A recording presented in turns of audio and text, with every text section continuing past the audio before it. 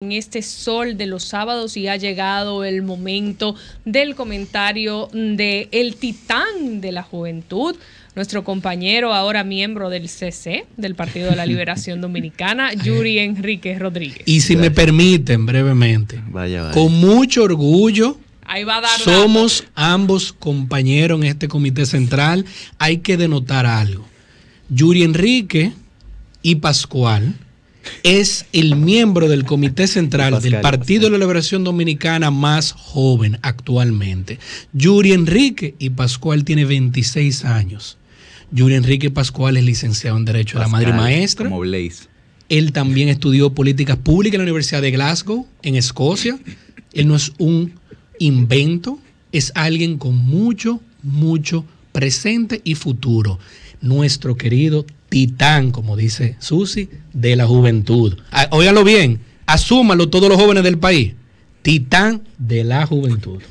Muchas gracias, muchas gracias Guarocuya, muchísimas gracias Susi, compañeros y compañeras y a toda la gente que nos escucha en este su programa El Sol de los Sábados con el Dream Team de la radio, el programa más plural e influyente de este país. Miren, el día de hoy yo quiero hablar, quiero hablar sobre la necesidad de la sobriedad y el diálogo en los políticos de nuestro país.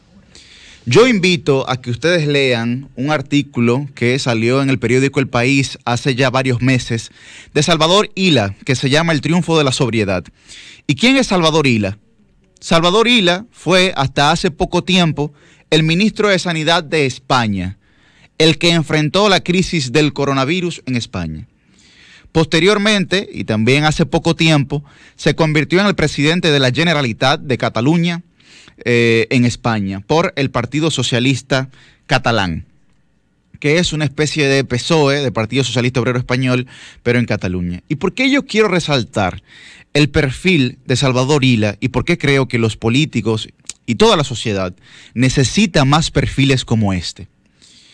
Yo conversaba hace poco tiempo con una persona que me decía, esta sociedad está ávida, necesitada de perfiles mucho más sosegados que permitan y que promuevan el diálogo en esta sociedad.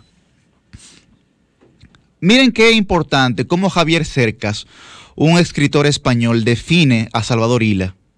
Dice, no es un Churchill en plena guerra, no es un encantador de serpientes como Felipe, no es la esfinge sin secreto de Aznar, no es el típico vocinglero que caracteriza últimamente a la clase política. Y yo quiero relacionar esto a final de mi comentario con el tema de las tres causales.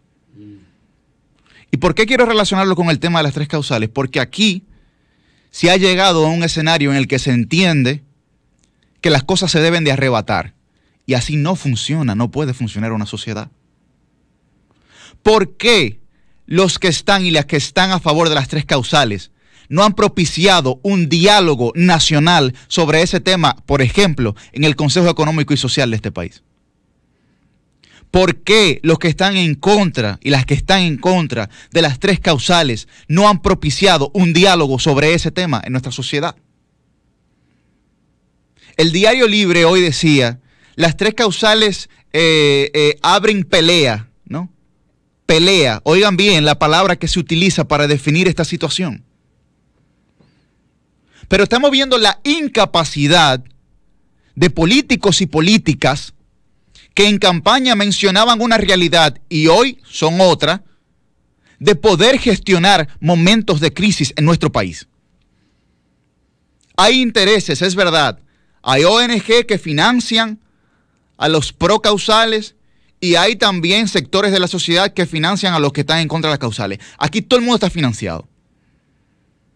Y una protesta en una plaza, una protesta frente al Congreso, una marcha, no se puede llevar a cabo con 100, 200, 300 personas por amor al arte. Eso no existe, eso no ocurre. Difícilmente ocurre, tiene que ser una implosión, un estallido social para que eso ocurra.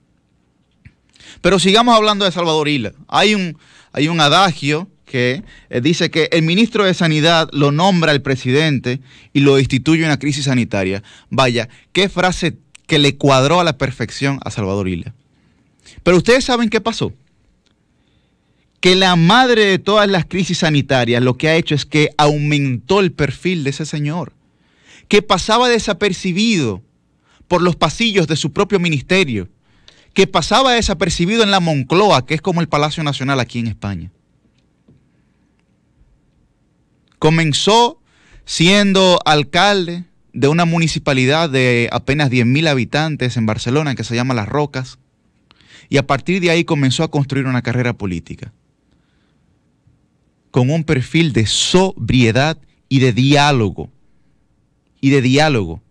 La gente está cansada de la estridencia, de los comportamientos y enfrentamientos infantiles, sin ningún tipo de inteligencia emocional de los y las políticas de nuestro país.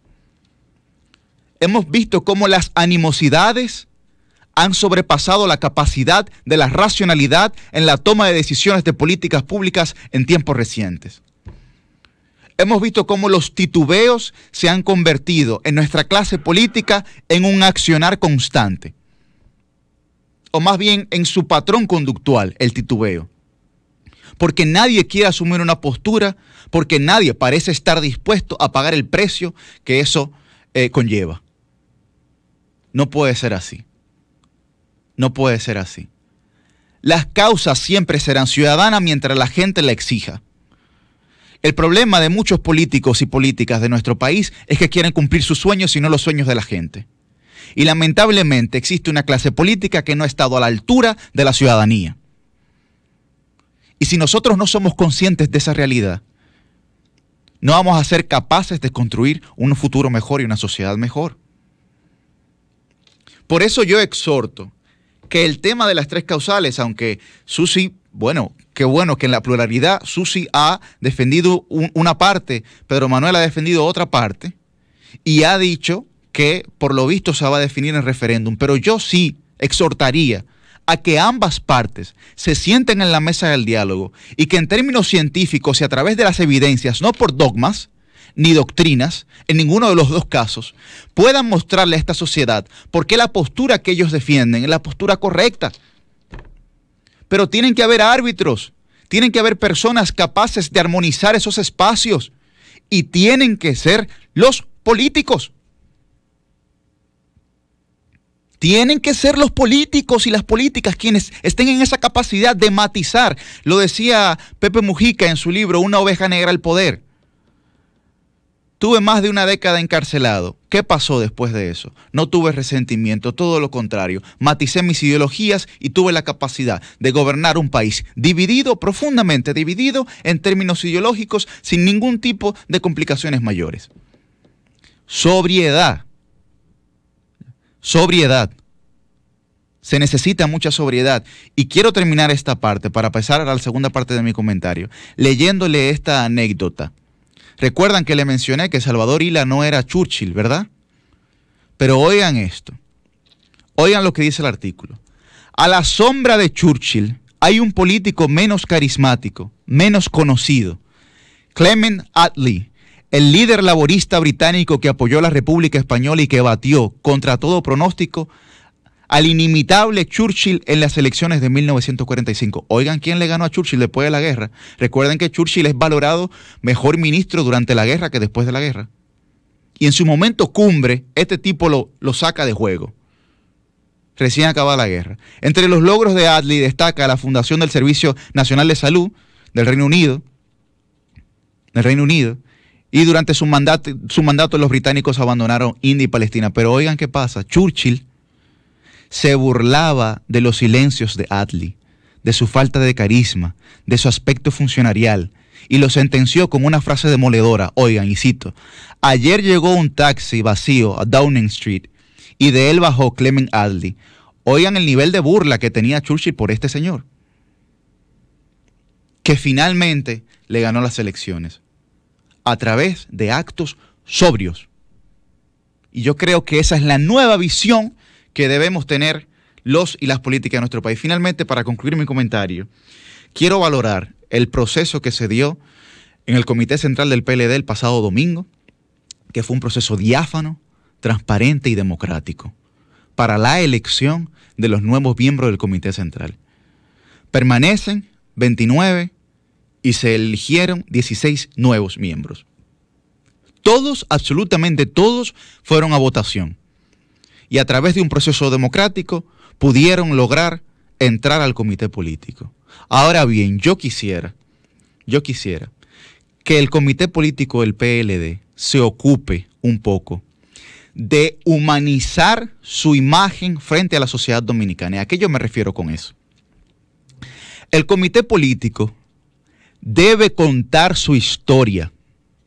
Debe contar su historia para que la gente sepa que las personas que ocupan, que ocupan eh, esos, esos puestos son personas que han aportado profundamente a la sociedad dominicana. Porque lo que pasó el domingo fue un voto de confianza del partido a los miembros del comité político. Pero ¿cómo contar su historia? Dejando atrás el pasado como pasado y entendiéndolo como prólogo del próximo capítulo. Es decir, recuperar la memoria. Y con esto concluyo. Tienen que contar su historia. Por ejemplo, Ventura Camejo y Monchi Fadul, que fueron de la camada de los primeros diputados del PLD en el 1982. Ventura Camejo fue diputado con 29 años un joven diputado en aquel momento de Guerra Fría. Por ejemplo, Carlos Amarante Baré, que fue senador de la provincia de Espaillat, a muy temprana edad, un líder político de esa región. Domínguez Brito, por ejemplo, que fue senador también. Julio César Valentín, que fue diputado, presidente de la Cámara de Diputados, que fue senador también, que fue de la Juventud Socialista de la UAS, esos líderes que están ahí tienen que volver a contar su historia para que la sociedad pueda familiarizarse con ellos, con ustedes. Si eso no ocurre, va a ser muy difícil que podamos generar una nueva conexión. Y yo entiendo que estamos en plena capacidad de hacer eso. Mañana concluye el noveno Congreso, que yo creo que ha salido por la puerta grande. Así que ojalá que la clase política de nuestro país pueda actuar con mucha más sobriedad y que pueda llevar soluciones a la mesa de diálogo. Cambio fuera.